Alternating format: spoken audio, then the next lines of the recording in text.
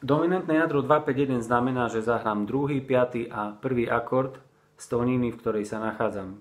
Keby sme boli v cedurovej tónine, tak by to bolo Demol 7, G7 a C maj, keby sme hovorili o septakordoch. E, dominantné jadro môžeme mať durové a molové. Poďme si pozrieť nejakých pár ukážok v durovom dominantnom jadre. Zahrám niečo a poviem, čo som tam hral.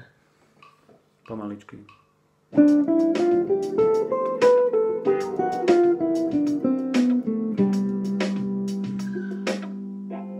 To ešte raz.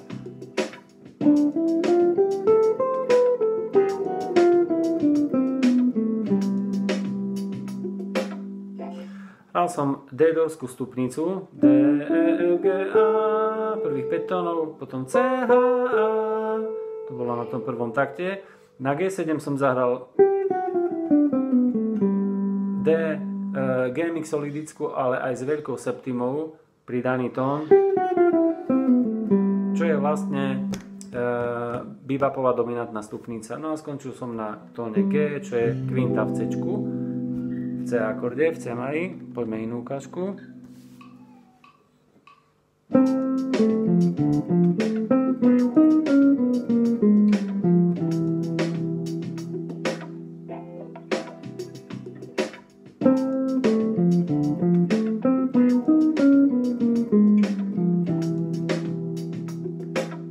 Som hral eh, demo 7 akord.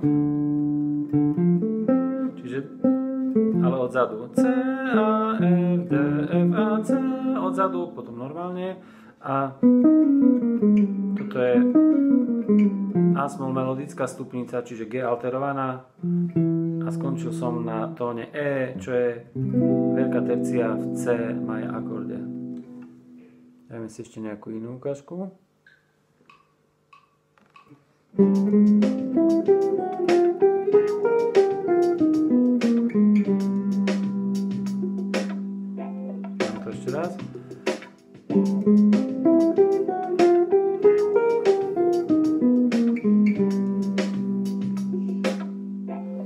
som teraz zahral rozklad akordu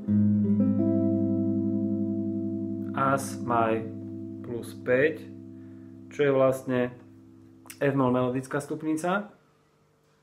Potom